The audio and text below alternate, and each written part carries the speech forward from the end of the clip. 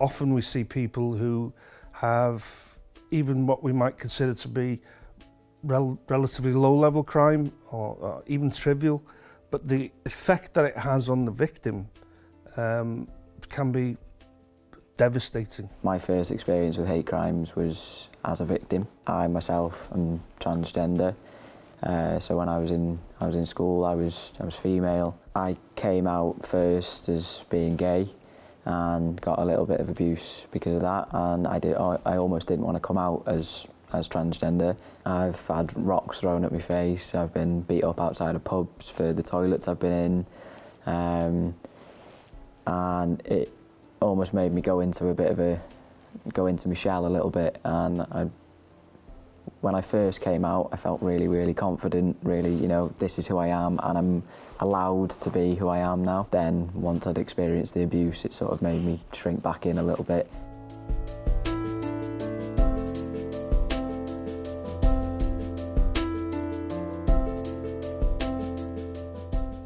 We look for a hostility, a motivation and a prejudice towards what are known as protected characteristics. Now those protected characteristics are race, transgender, disability, religion and faith, and sexual orientation, and they can be broken down further.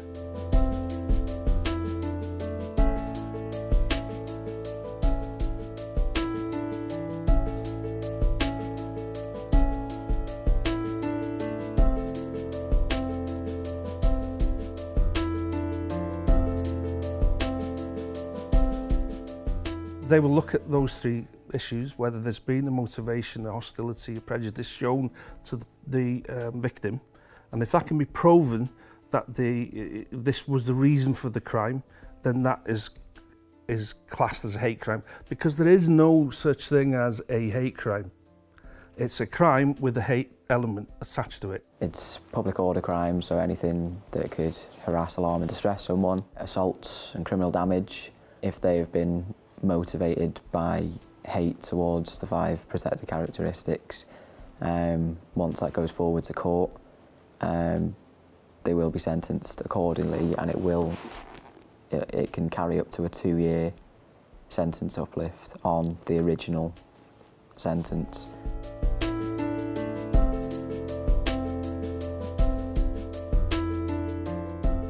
It was something so unexpected and was such a shock to myself.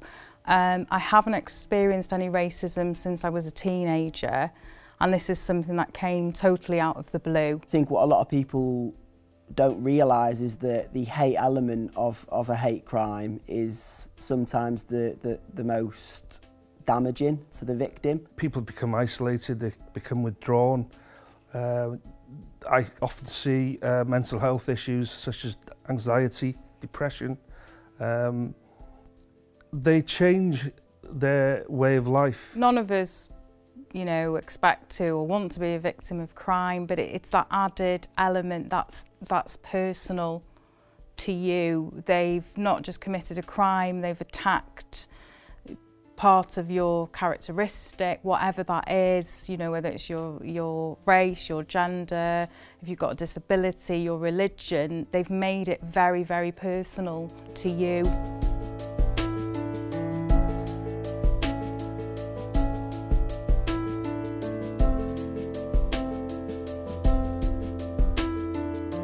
Victim support traditionally are known for providing uh, both emotional support and practical support. We hope we never need that service, but the victim support service is very valuable. I didn't think I'd need it. I, I think with myself, I was carrying on trying to feel okay, going to work, doing the usual things, and I wasn't okay. Victim Support is a listening service where people can come to us for free um, advice and also maybe speak to us and tell us something that, that they wouldn't feel comfortable uh, disclosing to their family or friends. I've been in cases where I've sat for an hour, virtually said nothing, and the victim at the end of it said, oh, thank you so much, you've done so much for me. And all I've done is sat there and listened to them. And that is cathartic. It's really a healing process part of it. No matter how strong a person you may think you are, we all need support sometimes in our lives and this was a time that I needed that support and that's where I found victim support service very invaluable to me.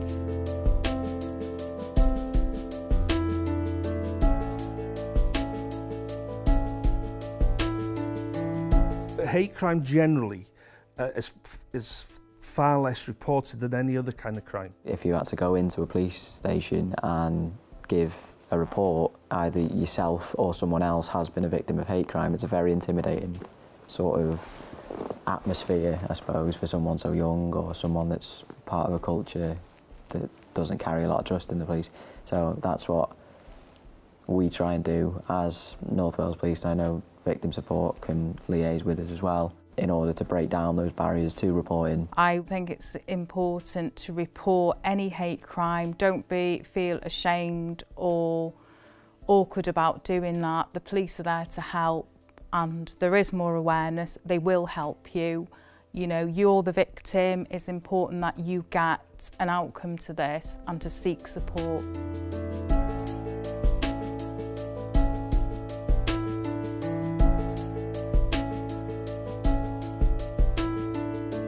Witnesses are crucial because they will corroborate evidence. I mean, there, there, there are times uh, uh where, for example, somebody may be assaulted, it's captured on CCTV, but there's no sound.